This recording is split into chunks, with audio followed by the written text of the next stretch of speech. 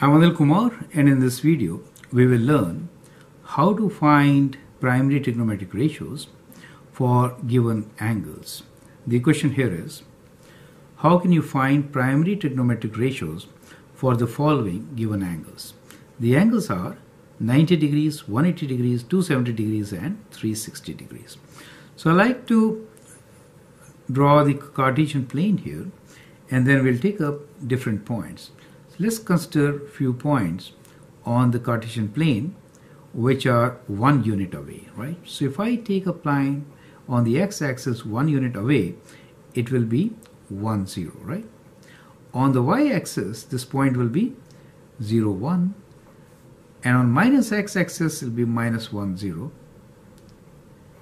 And here, it will be 0, minus 1, correct? As you can see, when we talk about 90 degrees, we're talking about this angle, correct? And therefore, we look into the terminal arm which coincides with 0, 1. Now, can you give all the trigonometric ratios from the point 0, 1? That's what the question is. Well, let me give you some background to this. If I have any general point, let's say any general point on this plane which is xy. In that case, and if say if say it is r units away, right? In that case, and if this is theta angle, what is sine theta equals to? Sine theta will be opposite, which is y over r, right? Or you can say if r is 1, let's say, let's take a case when r equals to 1, in that case, sine theta will be equals to y, correct? So let me draw a table here to show you this. How about cos theta? Cos theta will be this x value over r. And if r is 1, then cos theta will be equals to x. And tan theta is ratio of y and x. So that remains as ratio of y and x, correct? So that is how we can find all the three trigonometric ratios. So let me write down the trigonometric ratios here as sine of the angle. Let this be the angle theta. And then we write cos theta and tan theta, correct? At 90 degrees, the coordinate points, which is one unit away, 0, 1, right? So here, the point is 0, 1, correct? As you know, the first position, that means I could write x as cos theta, right? And y as sine theta. Do you see that? That is what we had been doing here. So x and y could be represented as cos and sine theta.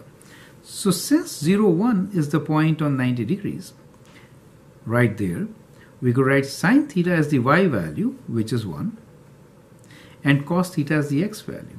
How about tan theta? Now tan theta can be treated as sine over cos. This is sine theta over cos theta, correct? So 1 over 0 is undefined. So we get 1 over 0, so this is undefined. Sine theta over cos theta, you cannot divide by 0, right? Now let's look into the point which is at 180 degrees, that is this angle, correct? That is 180 degrees. Minus 1 and 0. 0 corresponds to sine theta, minus 1 to cosine theta, and the ratio 0 over 1. 0 over 1 means 0. That is the value of tan theta. This, let me write this point as minus 1, 0. On 270 degrees, the point is 0 minus 1. Now here, the sine theta is minus 1, cos theta is 0, the ratio is sine over cos, which is minus 1 over 0, which is undefined. Just as we had for 90 degrees. For 360, the point is 1, 0. That means that sine theta is 0, cos theta is 1, and tan theta will be 0 over 1 or 0. So as you can see, using the coordinate points, we can very easily find the values of primary trigonometric ratios. So what I did was, in short, I took a point one unit away